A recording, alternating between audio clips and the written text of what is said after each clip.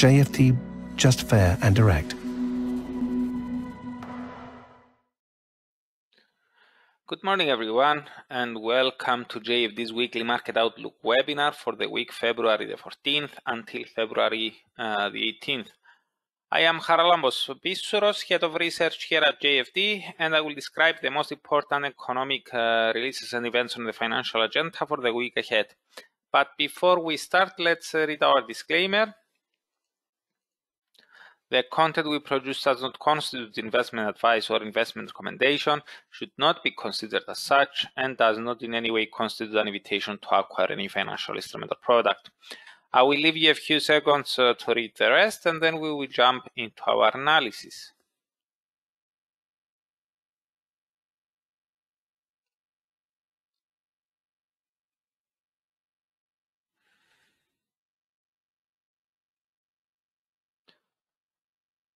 Okay, we don't have any central bank decisions on this week's agenda, but we do get the minutes from the latest RBA and FOMC gatherings with investors eager, uh, perhaps eager to get more clues with regards to each bank's future plans. As for the data, the most important ones may be the UK and Canada CPIs for January, as well as Australia's employment report for the same month. Now, let's take things from the beginning. Today, the calendar appears very light in terms of data as there are no top tier uh, releases on uh, on the agenda. However, we will get to hear once again from ECB President Christine Lagarde, remarks of whom could uh, well uh, could well affect expectations around ECB monetary policy.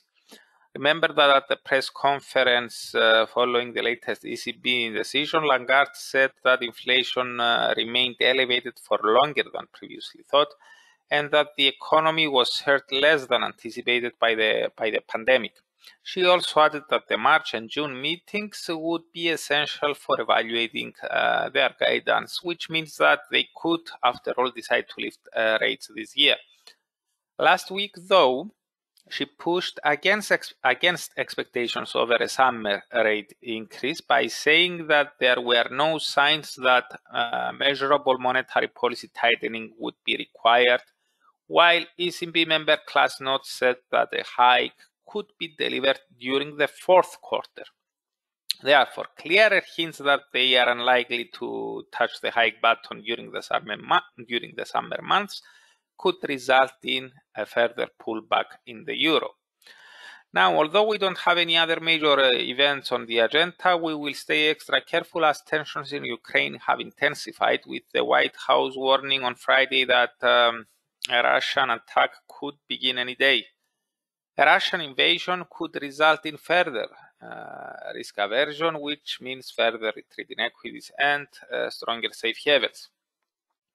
Now, on Tuesday, tomorrow, during the Asian uh, session, we get the minutes from the latest uh, RBA gathering. At that meeting, officials decided to keep interest rates untouched at 0. at 0.10% and announced uh, the end of their quantitative easing purchases, as was broadly expected.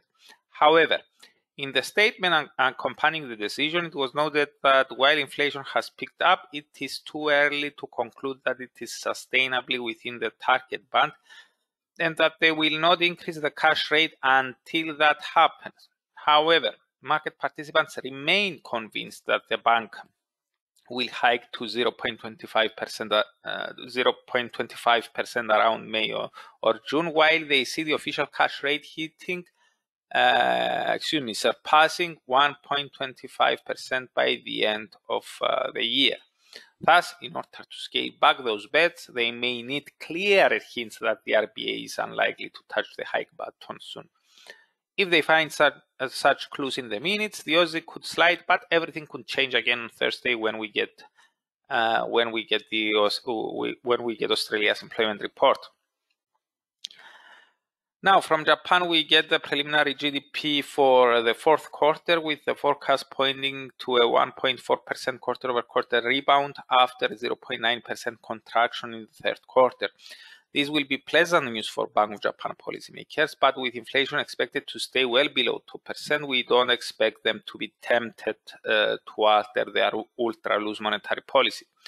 Japan's national CPIs are due to be released on Friday. Now, during the early European session, uh, the UK releases its uh, jobs data for December uh, tomorrow during the early European session.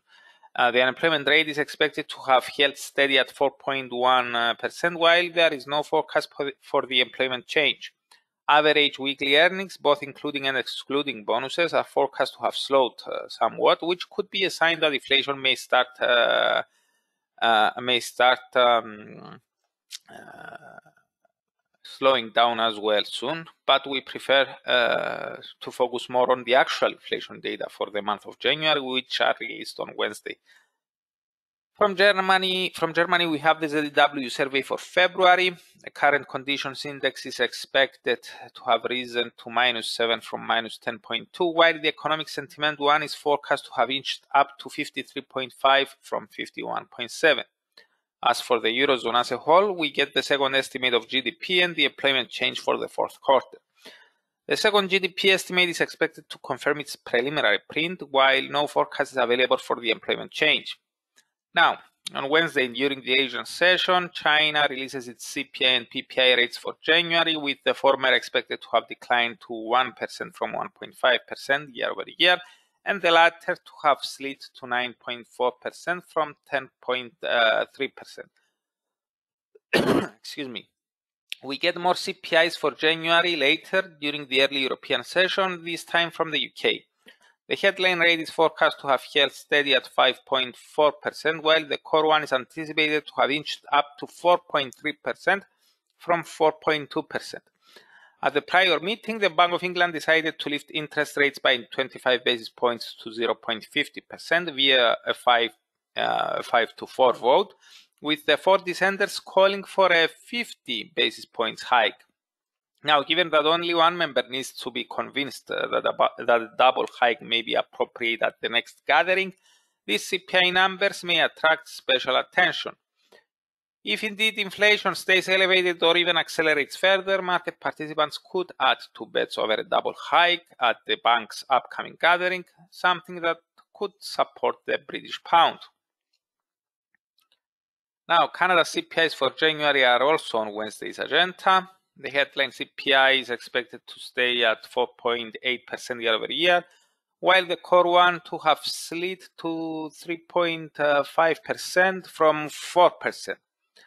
At its latest gathering, the Bank of Canada decided to keep interest rates untouched at uh, 0.25% at a time when the financial community was expecting a hike.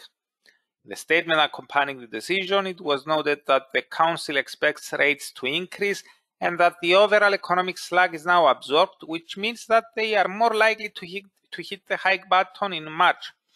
However, they once again noted that the Omicron coronavirus variant is weighing on activity, with Governor Macklem adding that hikes will not be automatic. They will take decisions at each meeting, he added.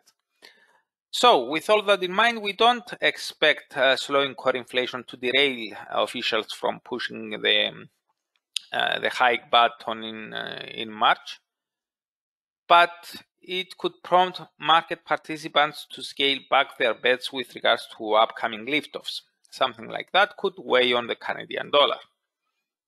Now, from the US, we have the US retail sales for January and the minutes from the latest FOMC gathering.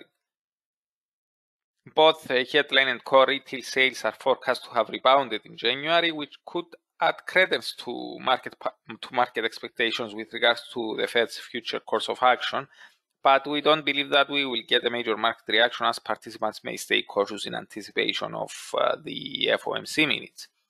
Now, the message we got from the from that meeting, from the latest meeting, was that the hike uh, is coming in March, and that there is a decent likelihood for more liftoffs this year than the December dot plot suggested. Now, following a strong employment report and accelerating inflation in the aftermath of uh, the gathering, market participants are fully pricing uh, in around uh, around six quarter point uh, hikes uh, by the end of uh, the year.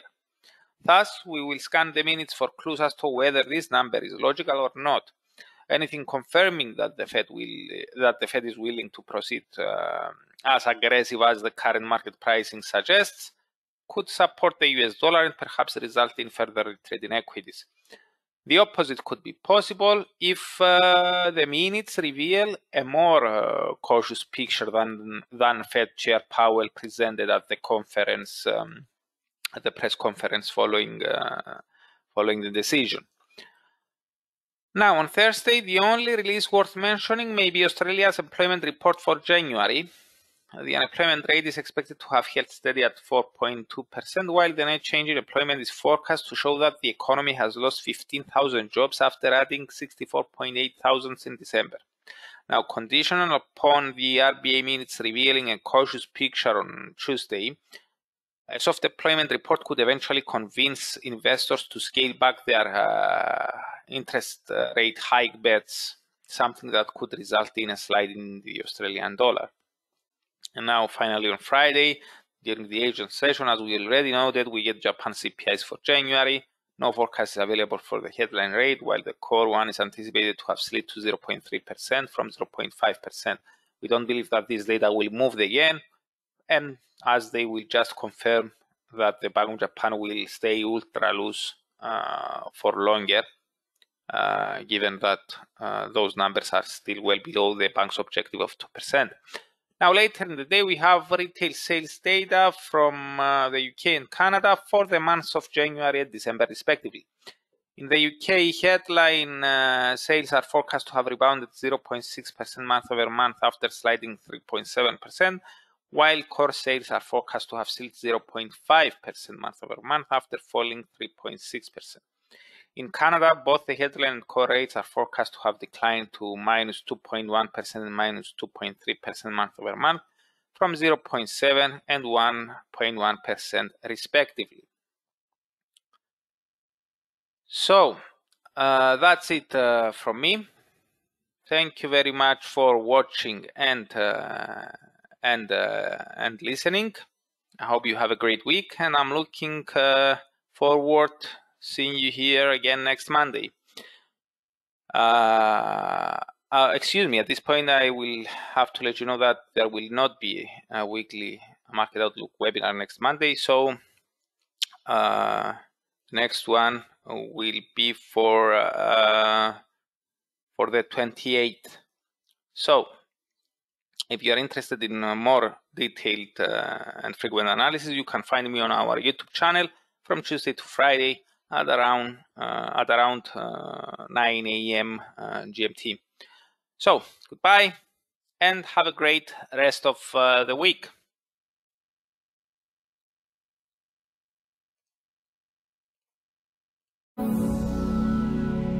JFD, just fair and direct.